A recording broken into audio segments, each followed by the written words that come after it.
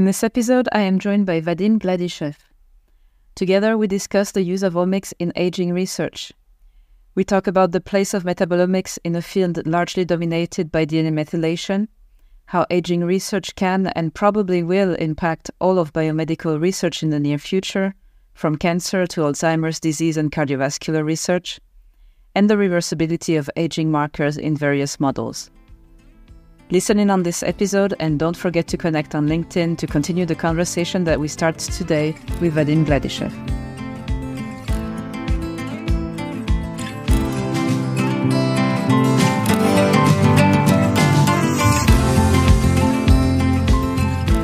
Welcome back to the Metabolomist for a third season, where we will dive into the concrete applications of metabolomics and where this tool will impact society in the next 5 to 10 years. I am your host, Alice Limonciel, and this year I am joined by a diverse group of scientists, medical doctors, and other professionals who have used metabolomics and pushed it beyond just descriptive studies and towards applications that will or are already impacting people's lives. This year, the keyword is really impact. Like you, I know the potential of metabolomic. In the last two seasons, I've discussed with many metabolomists about how powerful, sensitive, and informative metabolomics can be. But this year, I want to zoom in on the impact, the applications that are or soon will be changing our lives for the better.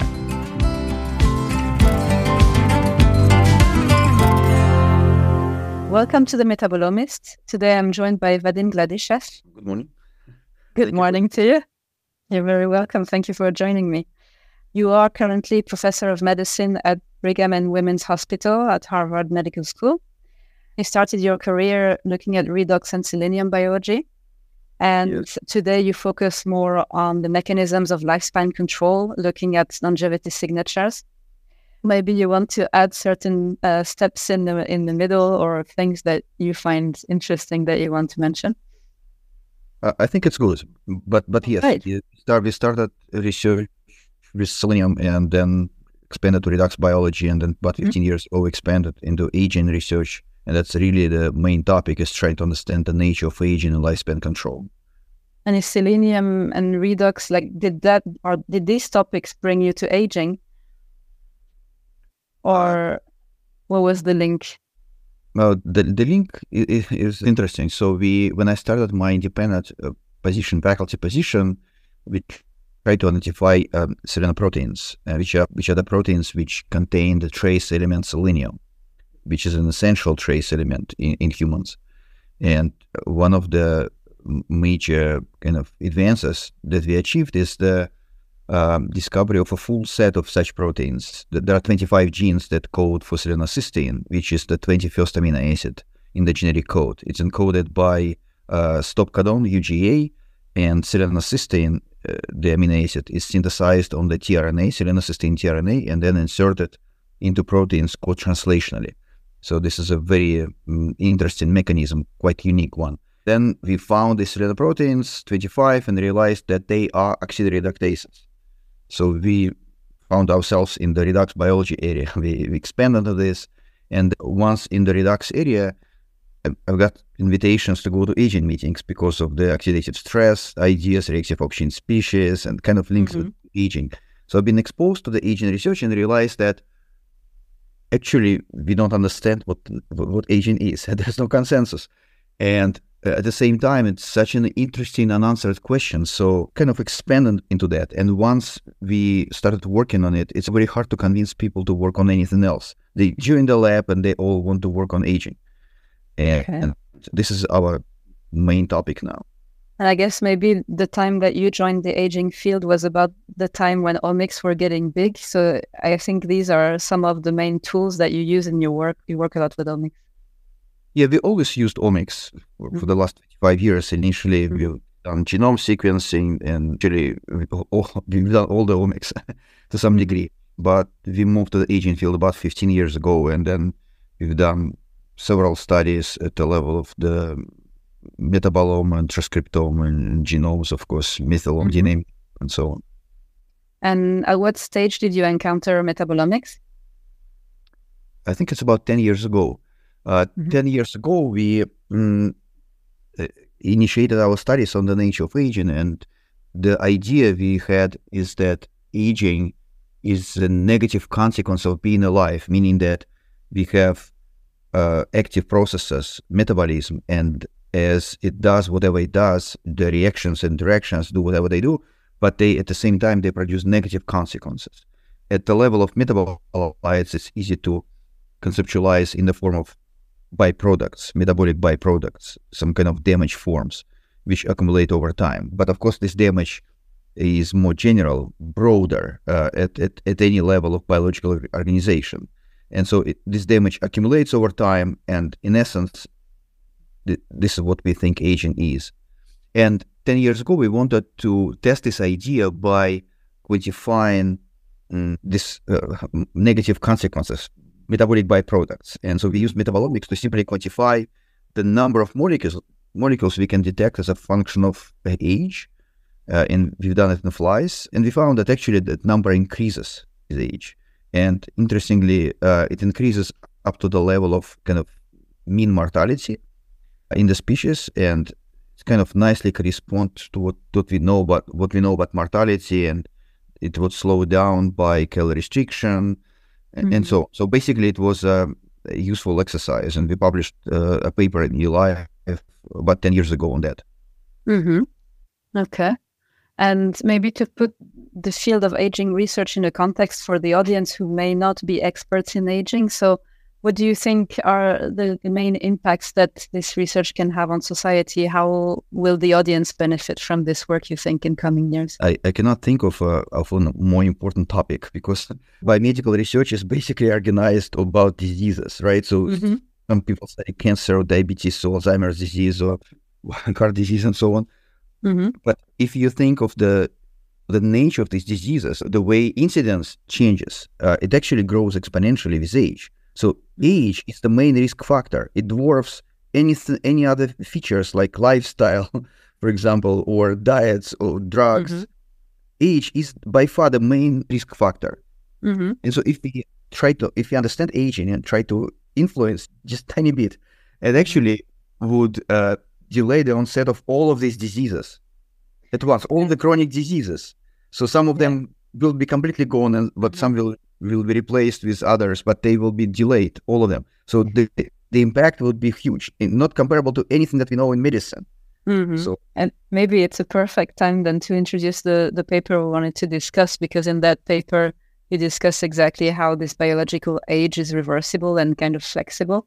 So that because we accumulate this damage or or this age and then you could think that once you've consumed your age potential that you can't come back but what you show and what others have probably shown as well but what you show in that paper is that to some extent some of that can be recovered yeah. right so yeah. the, i will just maybe tell the the title of the paper for the for the listeners so it's mm-hmm. called um, biological age is increased by stress and restored upon recovery, published in Cell Metabolism, and uh, Jesse Poganik is the first author.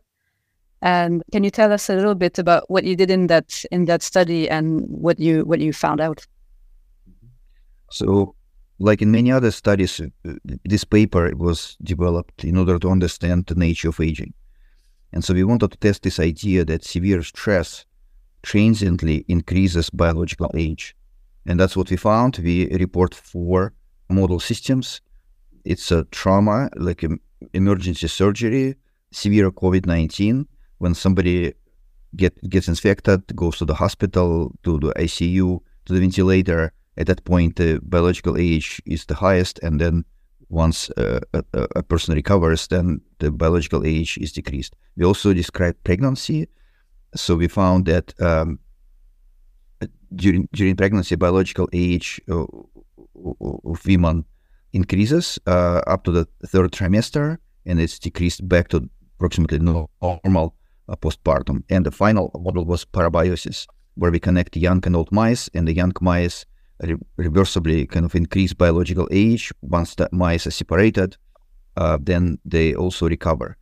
The way we tested uh, this idea is primarily uh, is the use of epigenetic clocks, which are aging biomarkers based on cytosine methylation in the DNA. So we have a, a two um, based on uh, DNA methylation arrays that to quantify biological age. But we also used metabolomics in the study also to show that in the case of parabiosis, metabolites follow basically the same idea as DNA methylation, meaning that they show reversible changes. The, the, the severe stress induces changes associated with aging, and then once the stress is relieved, metabolite patterns recover to the more to the younger state. Mm-hmm. Yeah, and you mentioned the epigenomics. I think this is the main omic that you work with, right? So I don't know if that's a common thing in aging or if it's your own preference, but it's one that is quite prominent in the field, isn't it? Yes, it's the most prominent. Currently, the aging clocks, uh, aging biomarkers, uh, they exist at multiple omics levels, but they are the most robust at the level of DNA methylation. And mm-hmm. So that's what we use primarily. But we also have biomarkers based on transcriptomic patterns, based on the proteomic patterns.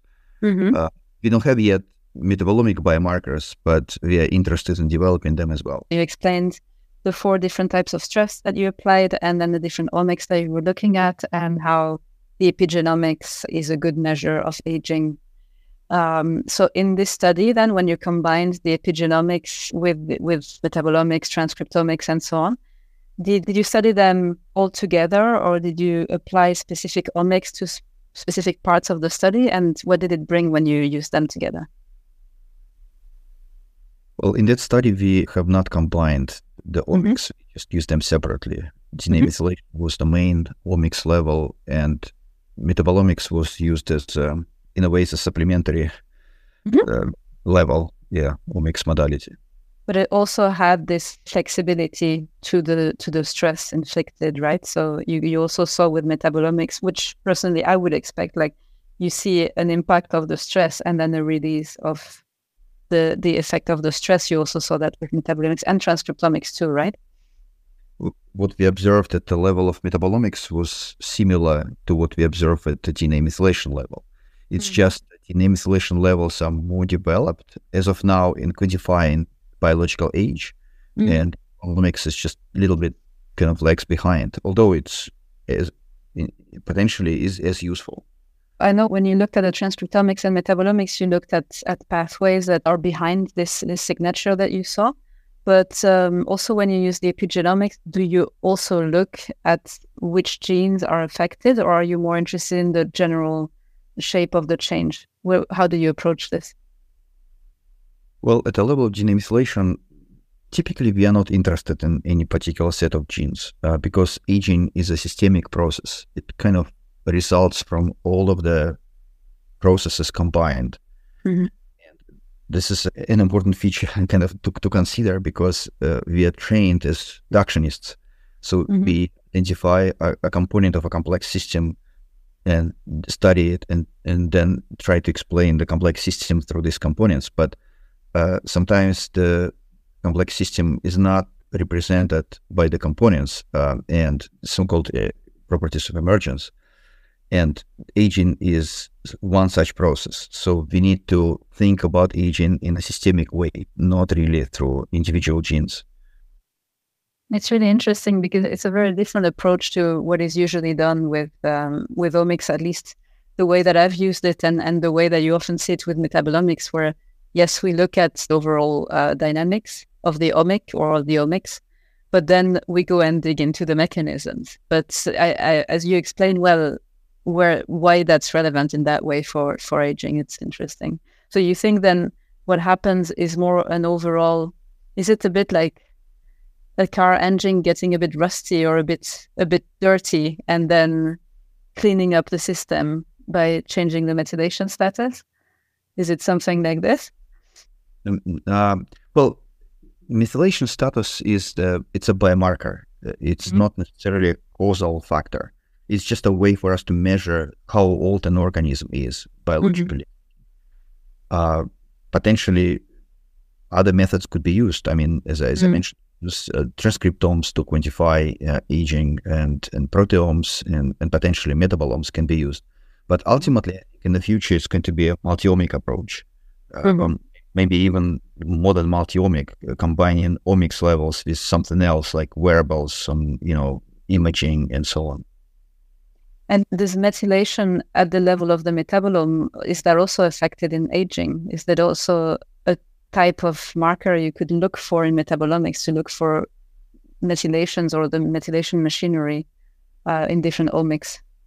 Uh, are you talking about methylation at the, yeah. at the metabolite level? Yeah. It could influence, of course, uh, like the the source of um, like acetyl methionine, for example, you know, of course, the would affect methylation, like methyltransferases or TET, and, TET mm-hmm. enzymes would affect. Mm-hmm. Of course, it, it would, but um, uh, this is I haven't seen anybody studying that particular aspect. Okay, okay. Yeah. now I'll keep waiting for mm-hmm. more information on this. Is there a specific aspect of the Poganik paper you would like to discuss? Was there something that surprised you or that was really a discovery for the field that we haven't mentioned? I would say it's uh, it was quite rewarding that it, because initially we had this uh, idea of reversible changes, and when we started mm-hmm. studying, um, finding that indeed there are reversible changes in, in biological age. Mm-hmm. So, to me, the the main outcome of this is the invitation to think about the nature of aging. Actually, mm-hmm. because um, some people would think that these reversible changes would not represent increased aging. So they kind of think of aging as a steady process of slowing just to kind of one way direction. Uh, whereas we think it's the biological age more fluid, uh, it kind of can fluctuate. Of course, this is not a settled issue. I mean, it's possible we are wrong. Mm-hmm. Just two days ago, there was another paper published uh, also in Cell Metabolism uh, by a group from Yale, where they extended our studies, they studied exclusively pregnancy, and they found uh, they, they they had a larger cohort than than us. Um, uh, we, actually, in our study, we had both human cohorts and, and mice. We studied mice changes in biological age during pregnancy in mice, mm-hmm. whereas the, the, Yale study they only used uh, human, but they had a larger cohort, and they also studied the effect of uh, breastfeeding. So they found that the women who breastfed, they recover more rapidly uh, postpartum um, in terms of decreasing biological age. So I, it was very rewarding to see that the other group studied it. But at the same time, I was asked actually to comment just uh, two days ago. There was a science conducted me in Nature, Stat, and some other uh, journalists. They, they all wanted to, to cover that story. Uh, and some of the issues that emerged from that is whether aging can be reversed. Some people say that this study uh, shows that aging is reversible. I think aging is irreversible. It kind of goes in, in one direction in general, but the biological age is still fluid. So meaning that if we think about aging from the perspective of damage accumulation, so under severe stress, there's more damage. And once the the stressor is, is removed, that damage may be partially cleared. So biological age of the system can recover in part. This is also something that is often discussed in metabolomic uh, research because you have a similar effect on the metabolome as a kind of uh, readout of the phenotype at a, at a very different level from DNA methylation. But you also get this dynamic effect and this impact on the metabolome as a risk factor. So you see that when you have certain interventions, you can reduce the risk and by changing the metabolome or let's say in parallel to changing the metabolome. That's really interesting for me because I think historically DNA methylation has been the omics that has offered the most so far to to aging research. But I'm I'm really curious to see, and and we will discuss this in a minute. Like, I think metabolomics probably needs to to grow a little bit more to be fully useful in aging, or to be even more relevant in aging. But when it does this, I, I can imagine that it will also bring something, especially for this study of the the reversible effects, because it has the flexibility required for this. We wanted also to discuss uh, another paper that you already alluded, alluded, to a few minutes ago. This one is from uh, 2015 and it's a paper that is entitled uh, Organization of the Mammalian Metabolome According to Organ Function, Lineage Specialization, and Longevity, also in cell met- metabolism. Is this a paper from your, your first encounter with metabolomics, or it's, it's a quite extensive metabolomics paper? Can you discuss it? Yeah, sure. I'm quite proud of that paper actually. So, because it's a very extensive study where we analyzed uh, metabolite profiling, uh, subjected uh, tissues you know, metabolite profiling for 26 species of mammals, three organs, liver, brain, kidney, and multiple multiple representatives of, of each species with many biological replicates. So it's a very extensive study. It was done in collaboration with uh, Clary Clish at the Broad. Actually, we, we do a lot of our metabolite profiling at, at the Broad Institute. And this study, it's linked to other studies at the omics level. So we've done also at, at the level of the transcriptome for the same set of species and samples, and also at the level of ionome. By ionome, we mean sets of chemical elements, mm-hmm. like, you know, selenium, iron, zinc. Okay. Yeah, thanks. I would have guessed, but I didn't know that term. Yeah. so, so about 20 elements. We quantified, there was a separate paper that we published when we quantified 20 elements, and, and we also studied this. But but in that cell metabolism study, we quantified several hundred metabolites across all these tissues and species, and uh, identifying some metabolite changes that associated with uh, species-specific biology, with organ biology, as well as um, we identified sets of metabolites which uh, which represent um, changes in lifespan across species. And I would comment that uh, in mammals, there is a great diversity in lifespan. It's a great model system. Uh, mammals differ about hundredfold in lifespan. Uh, you know, if you compare shortest lived like shrew, some some shrews they, they live only one year, and some whales they live uh, maybe up to two two hundred years. This can be studied, and uh, we use this model system to try to understand how does nature uh, change lifespan. Because when we study this in the lab, typically, like in mice, we could achieve only you know 10%, 20% change in lifespan in response to longevity interventions like calorie restriction or some genetic manipulations, rapamycin treatment. Whereas across species, there's like a hundred to two hundred fold difference in lifespan, and so somehow nature changes uh, metabolic pathways and, and other processes so that lifespan is so dramatically changed. So we try to understand how exactly does it do it, and and maybe we could use that information in the future to modify lifespan in model organisms mm-hmm. eventually. I think already ten years ago you were looking for um, ways to fill the the gaps of what you need from metabolomics because we've discussed this when we prepared the episode i was asking what kind of developments would you need to see in metabolomics and the information that it provides for it to be most useful to your research. And you mentioned exactly the things that you mentioned in this study also for example like organ specific metabolites or the quantification of damage. So can you can you comment a bit more in detail about this? What would met- metabolomics need to do to become really relevant for people who do the kind of research you do? Yeah, I think metabolomics is already relevant. It's just that every omics level provides some common information, and and there's some more useful information at certain level for a, any omics. Like, for example, DNA methylation that we use primarily to quantify uh, aging is um, useful because DNA is quite stable molecule, and DNA methylation varies from like zero to one, so either fully methylated or not methylated. So in that sense, it's kind of very robust to quantification. It can be compared across species, at least mammals. Uh, there are many advantages. Plus, we can quantify like millions of CpG sites, methylation mm-hmm. like sites at the same time. Uh, uh, for example, uh, transcriptomics is also useful because it kind of tells about the biology involved, right? Mm-hmm. So quantify similar sets of genes. Uh, in the case of metabolites, uh, one, I guess, disadvantage is that we are still not able to quantify as many uh, molecules as other omics levels, right? Like, for example, mm-hmm. so DNA methylation or transcriptomics. Mm-hmm. Uh, but there are other advantages that uh, metabolites are kind of the same um, in, in different tissues.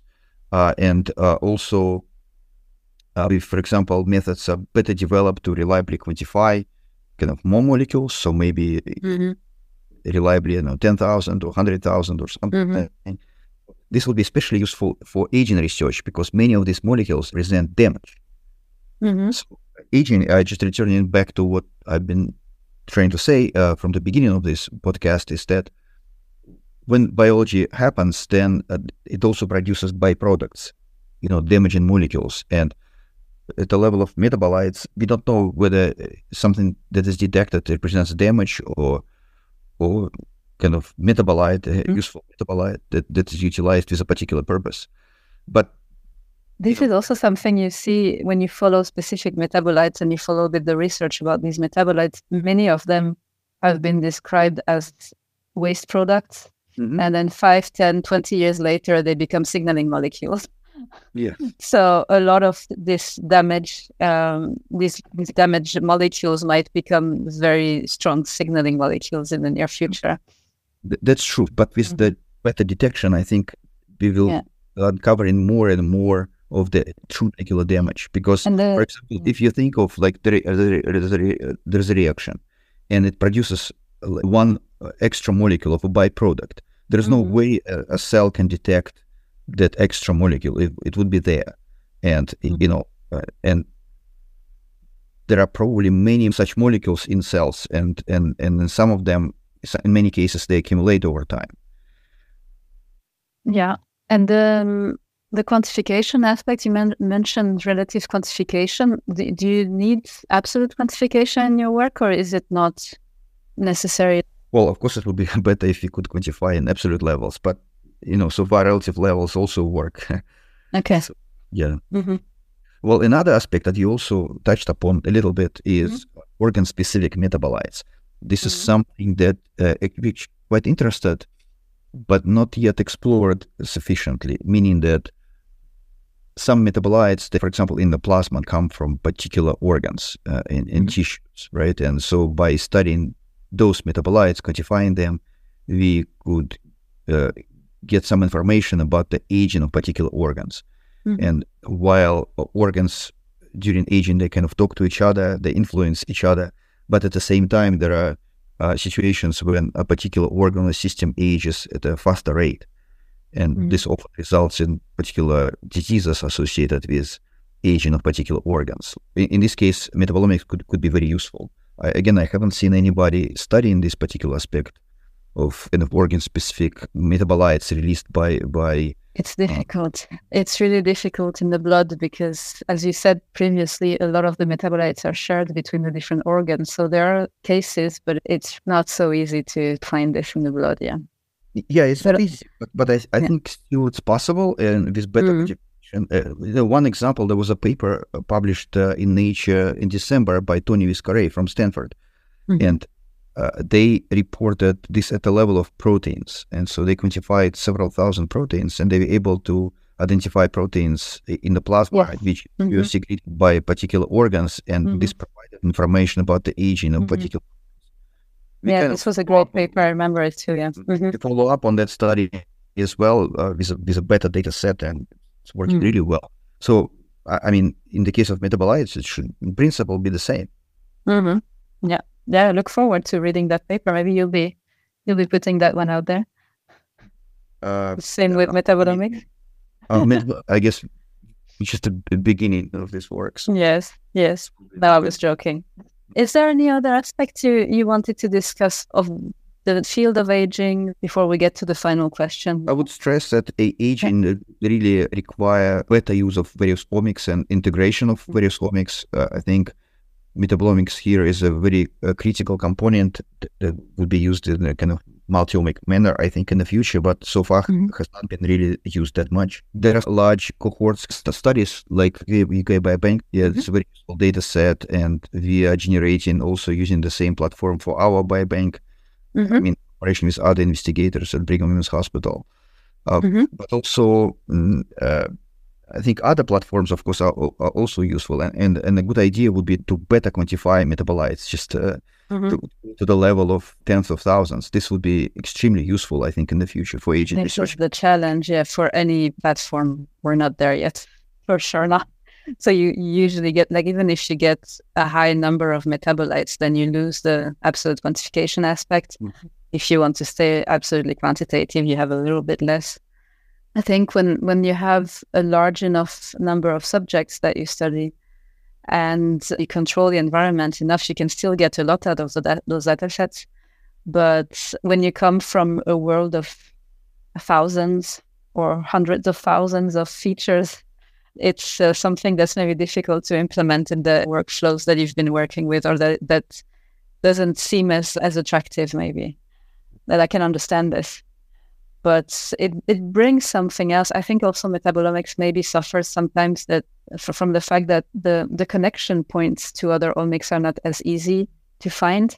So you don't have the direct link to a gene, for example, that you would have with proteomics or with transcriptomics or with epigenomics. I see this as a kind of barrier also for the adoption of metabolomics for people who are more used to gene-based omics.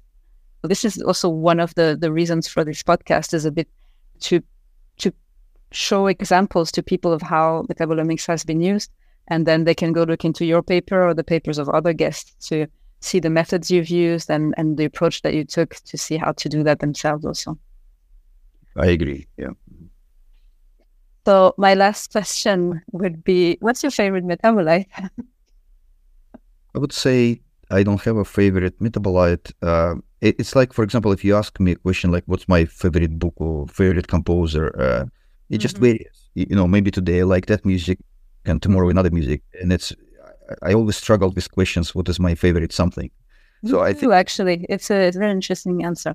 It's true, and, but and still, the, the same applies to metabolites. Although I would say maybe I would reverse my, my answer, is that I my favorite historically is still selenium. So if selenium mm-hmm. quantifies as, as a metabolite, you know, or series of metabolites.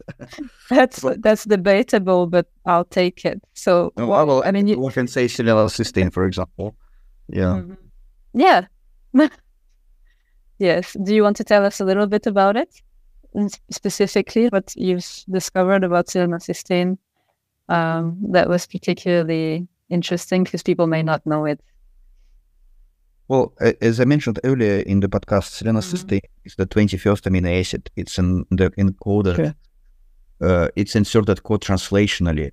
So actually, if selenocysteine is, is used as a dietary source, it's taken up and then degraded elemental selenium, and selenocysteine is synthesized on the tRNA mm, uh, and then inserted uh, into proteins. We have several hundred papers actually on that topic, uh, uh and, um, and, and also the on the pathway. This was together with Dolph Hatfield at, at NIH. We discovered a pathway for selenocysteine biosynthesis in in mammals where uh, selenium is first uh, phosphorylated into selenophosphate by selenophosphate synthetase, and then this uses selenium donor uh, cysteine biosynthesis, where serine is initially aminoacylated to the tRNA, then phosphorylated by a particular kinase that we found called phosphoseryl tRNA kinase, uh, those phosphoserine species, and then that one is converted to selenocysteine on the tRNA. It's a very interesting pathway. Mm-hmm. And then it's inserted into proteins with a specific elongation factor for selenocysteine,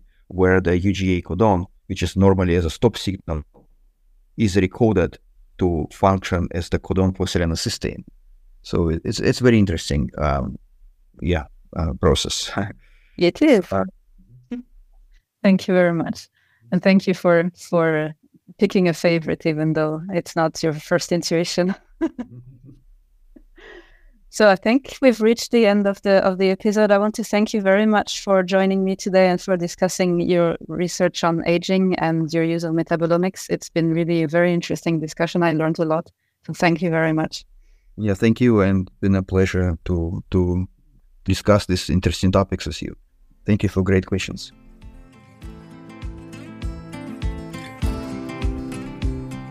Thank you for listening to the Metabolomist.